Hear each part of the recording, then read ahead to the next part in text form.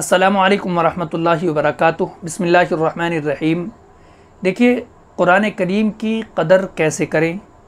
हम कुरान करीम की कदर कैसे कर सकते हैं? ये एक सवाल है। नबी पाक सल्लल्लाहु अलैहि वसल्लम ने हदीस पाक के अंदर इरशाद फरमाया कि मैं तुम्हारे लिए एक चीज़ छोड़ करके जा रहा हूँ।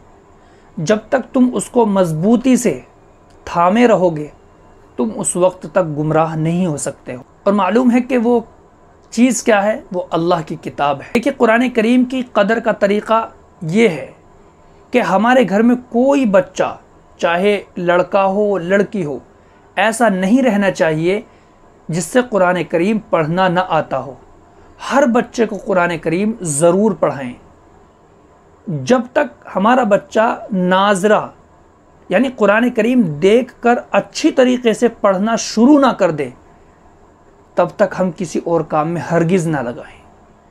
कुरान करीम को अच्छी तरीके से सिखाएँ।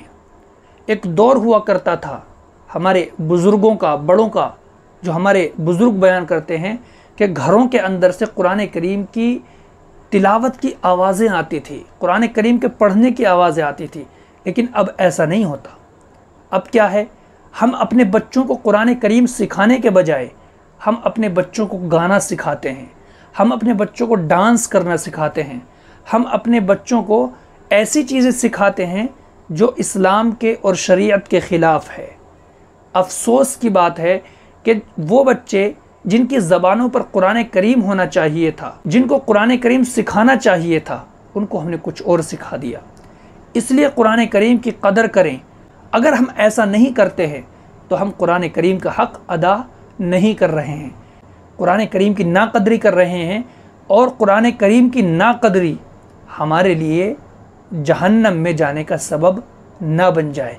इसलिए पूरी कोशिश करें कि हमारा हर बच्चा कुरान करीम सीखे और कुरान करीम पढ़े।